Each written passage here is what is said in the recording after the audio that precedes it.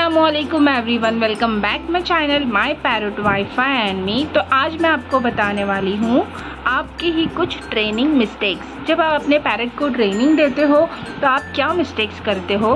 क्योंकि हम baby parrot लेकर ही इसलिए आते हैं कि हम उन्हें कुछ सिखा सकें।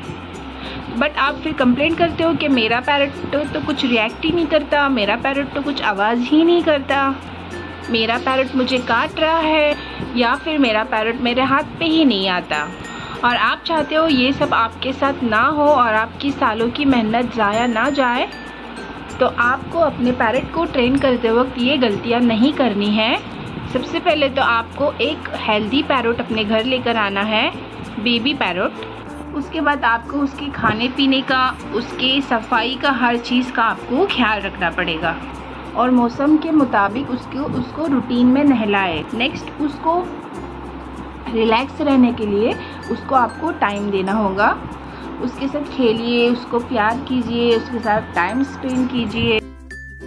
अपने पैरट की बॉडी लैंग्वेज को समझने की कोशिश कीजिए कि किस टाइम वो रिलैक्स केज में रहना पसंद करता है और किस टाइम वो आपके पास आने की कोशिश करता है। जिससे देखिए, मेरा पैरट अब मेरे पास आने की कोशिश कर रहा है। जैसे ही मैं केज ओपन करूँगी, ये बाहर आ जाएगा।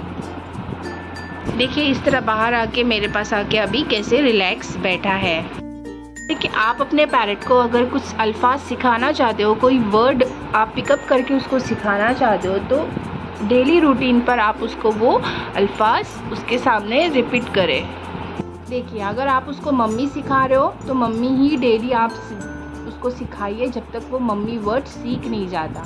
आप अगर आज मम्मी सिखा रहे कल मिट्टू सिखा रहे कल टुट्टू सिखाएँगे तो वैसे नहीं सीखेगा। आप एक ही वर्ड आप उसको डेली रूटीन पर सिखाइए। देखिए, अगर आपका पैरट चिल्लाता है और बाइट करता है आपको तो उसका रीज़न जानने की कोशिश कीजिए कि वो आपको बाइट क्यों कर रहा है, उसको आपसे क्या दिक्कत है, क्या प्रॉब्लम है, वो जानने की कोशिश कीजिए। और आप उसको ऐसा करने से नहीं रोकोगे तो आपके पैरट की आदत बन जाएँगी।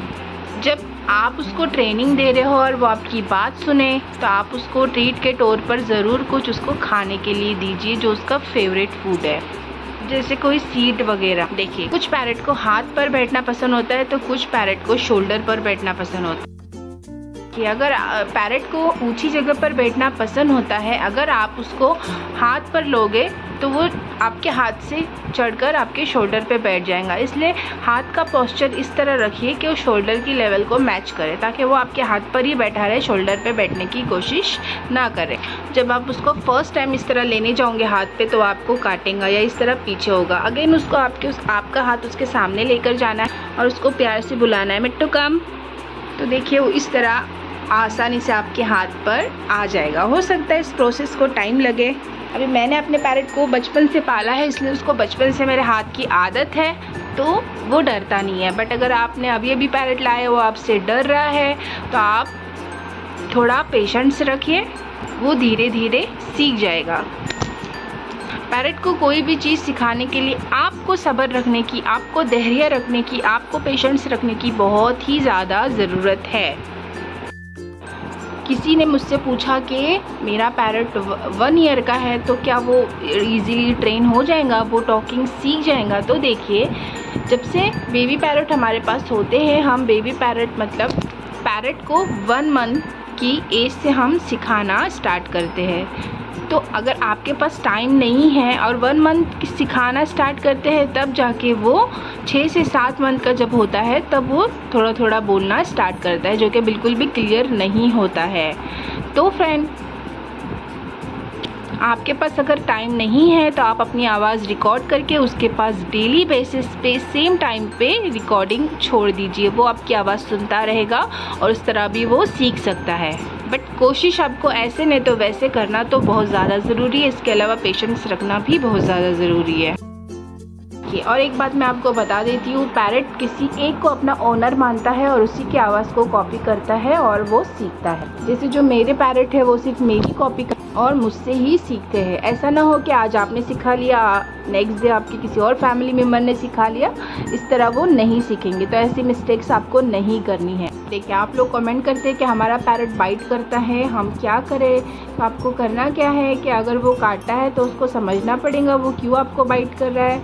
अगर वो ऐसी नॉर्मली आपको काट रहा है तो आप उसको नज़रअंदाज करें। जब वो काटे तो आप रिएक्ट ना करें और अपनी ट्रेनिंग कंटिन्यू रखें। और अब जब वो काटे तो आप उसको बोलना है आपको कि बाइट नहीं करना है, काटना नहीं है नो नेवर इस वर्ड्स को वो लोग बहुत अच्छी तरीके से समझते हैं। अगर आप डेली उनको नो बोलोगे तो वो ज़रूर समझेगा कि ये चीज़ उसको नहीं करनी है। और आप, अगर आपको जानना है पैरट की बाइटिंग हैबिट को कैसे छुड़ाए तो उसका लिंक आपको डिस्क्रिप्शन में मिल जाएगा। सिट सिट सिट अभी इसको यहाँ बैठना नहीं है बार बार वो फ़ोन पे उड़ के आ रहा है मेरे पास, उसको अभी आना है मेरे पास। वो बोल रहा है कि मैं उससे बातें करूँ फ़ोन में देख कर नहीं। वेट वीडियो बना के मैं तुझे ही ले रही हूँ। जब आपका पैरट सो रहा हो तो उसको डिस्टरबेंस बिल्कुल भी पसंद नहीं है। या फिर पैरट ऐसा होता है, कभी कुछ प्लास्टिक की चीज़ या कुछ भी उनको मिले तो वो चबाते रहते हैं। जब हम उनसे ले लेते हैं तो भी उनको गुस्सा आता है तो भी वो बाइट करते हैं। तो ये सब चीज़ों को इग्नोर करना चाहिए, नज़रअंदाज करना चाहिए।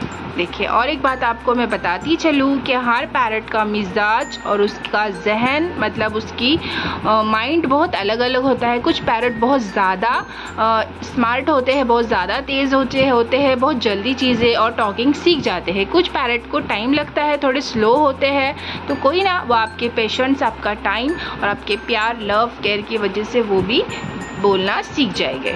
बस उनके बिहेवियर को, उनकी बॉडी लैंग्वेज को, उनके चीज़ों को हमें समझना है और उस तरीके से उनको ट्रेन करना है। बहुत जल्दी ट्रेन हो जाएँगे। हमें कोई मिस्टेक नहीं करनी है उनके ट्रेनिंग में।